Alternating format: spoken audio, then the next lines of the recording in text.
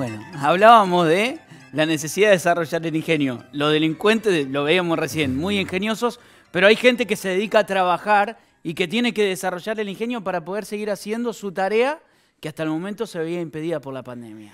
Y se trata de un payaso bahiense. Hay que tener en cuenta que también ahora en Bahía Blanca, desde que comenzó la pandemia, hay un circo instalado que no puede trabajar. También. ¿Eh? Pero ellos se dieron maña Sí, y pusieron una verdulería, verduras. ¿no? Una verdulería y llevaban verdura a domicilio. Eh, Bueno, pero el resto de los eh, payasos, clowns, músicos, eh, no saben cómo sobrevivir. Algunos en las esquinas con sus malabares. fueron habilitados dentro de Mm. las actividades que, que se habilitaron en este último tiempo, todo lo que tiene que ver con el arte callejero. Pero ¿qué pasa con los payasos? Que trabajaban habitualmente animando fiestas infantiles, fiestas que ya no se están haciendo.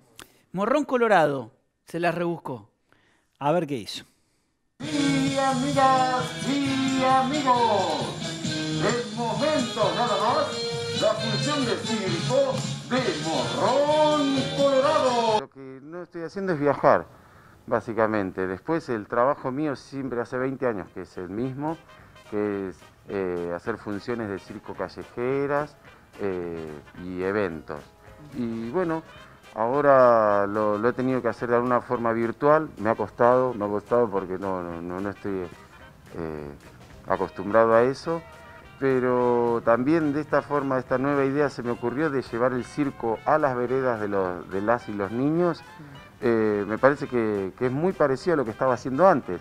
Simplemente que ahora, en vez de tener un público de 30 o 100 personas, eh, es una familia. Veo que los niños y las niñas están así como encerrados, ¿viste? Y bueno, a todos nos, nos- nos pega un poquito mal esta, esta situación.